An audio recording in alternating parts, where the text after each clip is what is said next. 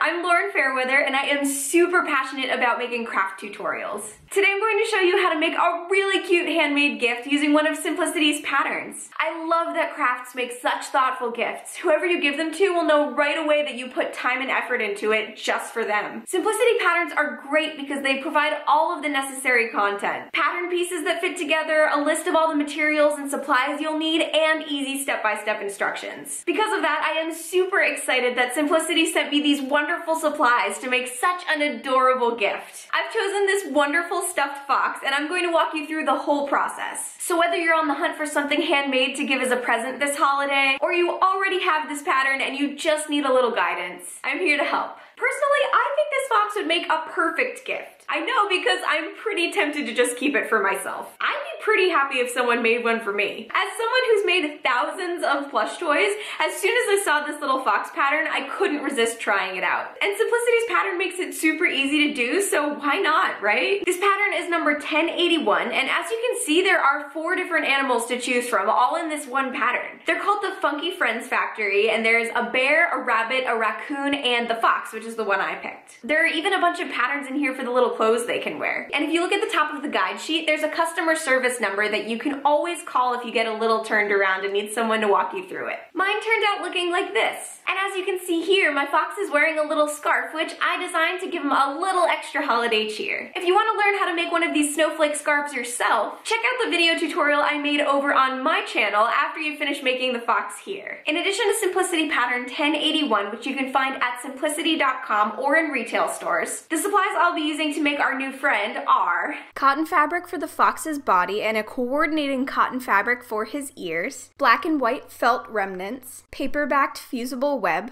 embroidery floss in black and an embroidery needle, a washable fabric marking pen or pencil, polyester fiber fill. I'm using these Martha Stewart all-purpose scissors for most of the cutting, and the Martha Stewart precision scissors for cutting smaller details. Sewing pins, sewing thread in colors to match your fabric and some bobbins, an iron and ironing board, a wooden stick of some sort to help you turn your piece right side out, and I'll be using my Simplicity sewing machine to stitch up our lovely little fox securely. To start, open up your pattern and check the guide sheet to see exactly which pieces you'll need to make the fox. Cut out those pattern pieces on the solid lines until you have them all ready to go. To get rid of any folds and help your patterns to lie flat, quickly iron them. Following your guide sheet so you know where to place your patterns on the fabric, flip your cotton fabrics so they're folded in half with right sides together. Pin the fox's body shape facing the direction marked on the guide sheet and carefully cut through both layers of fabric around the solid lines of the pattern. Do the same for the fox's ears, except for this shape you'll need two pairs.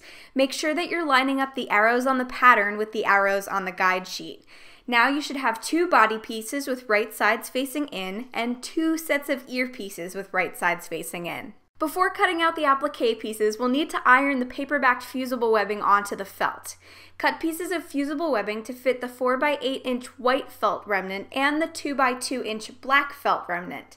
Make sure that the adhesive side is facing the felt and iron the fusible webbing to the felt following the package instructions. Then cut out two eyes and a nose shape on the black felt. To cut out the face shape, I found it easier to trace the pattern onto the paper side of the fusible web before cutting that pattern out of the white felt. Once we have all of our pieces ready to go, we can start attaching the face applique to the right side of one of the fox's body pieces. Peel the paper backing off of the face and nose pieces, then using the pattern as a guide, place the face and nose appliques adhesive side down onto the front of the fox's body shape.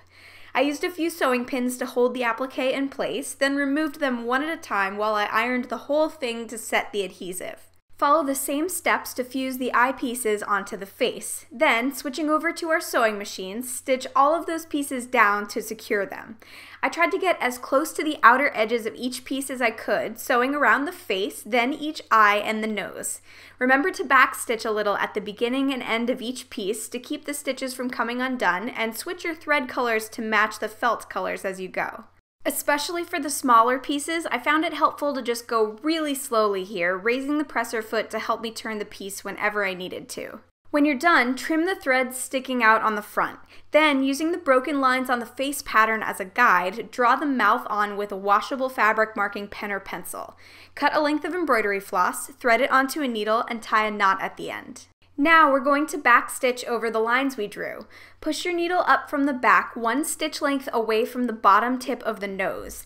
Then push your needle back down through the fabric right at the tip of the nose. Continue this pattern, pushing your needle up from the back one stitch length away from your last stitch, then back down right up against the last stitch you made so you create a solid line of stitching with no gaps in between, backing into your previous stitch each time. Keep going until all of your ink lines are covered with lovely embroidered stitches. To secure them, flip the whole piece over and grab a nearby stitch with your needle. Then, as you're pulling it through, thread your needle through the loop that forms to make a knot. Trim your excess embroidery floss and we can start putting together the ears. With right sides together, follow both your guide sheet and the pattern in order to sew the ears together. You'll need to leave the edge with the large and small dots on it open, so I marked that side with a sewing pin before I started. Sew with a quarter inch seam allowance up one side into the corner, stop and turn your piece, then sew down the other side. Repeat that for the other ear, remembering to do a few backward stitches where you start and finish to lock the stitches in. Following the diagram on your guide sheet, clip notches into the corners and seams with your detail scissors, being careful not to cut into the stitching, then turn the ears right side out. Use a wooden stick or a similar tool to push the corners out. Press with an iron to flatten them. Now we're going to attach the ears to the front piece of the fox's body shape. Again, check the diagram in your guide sheet to see how to line these pieces up. There's a large dot and a small dot on both the ear pattern and the guide sheet to show you exactly what the ears should look like. Pin them in place once you're confident that they're facing the correct direction. Grab the remaining piece of fabric, which should be the back side of your fox's body shape, and place it right side down onto the other pieces. That way the ears will be sandwiched between both body pieces and they'll be sewn into the seams as you sew around the outside edges. Pin all of the pieces together, making sure that the ears are still where you placed them before. I actually moved the pins holding the ears down onto the top piece here so I wouldn't stab myself with them later when I turn the piece right side out. Keep in mind that we'll need to leave a gap in the stitching on the side of one leg right here where it's marked on the guide sheet, and let's head back to our sewing machines. So since I'm planning to leave a gap right here, I'm starting my stitches at one end of that gap. Carefully sew around the whole shape, pulling out any nearby pins and leaving a quarter inch seam allowance, which for me means aiming to line up the left side of the presser foot with the edge of the fabric as I go. The dashed lines on the pattern show that many of the corners on this fox are actually rounded, so I found it helpful to keep the pattern nearby so I could occasionally check to see where I'm supposed to be stitching.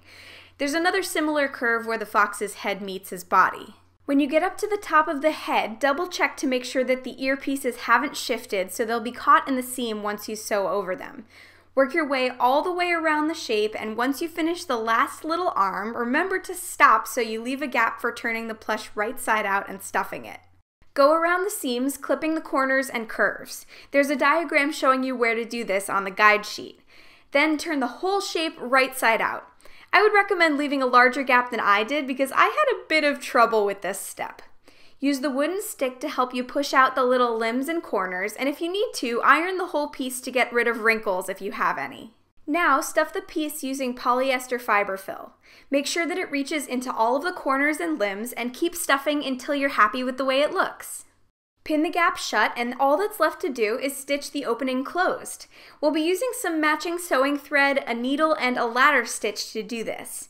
Ladder stitch is a relatively invisible stitch where you push your needle under the crease on one side of the gap, then switch over to make the same stitch over on the other side. Picture the rungs of a ladder as you reach across the gap and continue that pattern until you've stitched the whole opening closed. Tie a knot or two onto a stitch near the end to secure your stitching, then hide your excess thread by pushing your needle into the toy and back out about an inch away. Trim off the thread that sticks out, remove your pin, and now our fox is all finished. I love his cute little ears, the stitching on his face, and the fact that you can choose whichever fabric you'd like to make him. Mine has these tiny polka dots. You can give them away just like this, or add an accessory like the little snowflake scarf I made, which you can learn how to make over on my own channel. This has been such a fun project, and I really love how the finished fox came out. Thanks for sponsoring me on this one, Simplicity. It's really put me in the holiday spirit. And now I'm off to make another because I don't I'm gonna be able to part with this one. Thanks for watching, happy holidays, and I'll see you soon.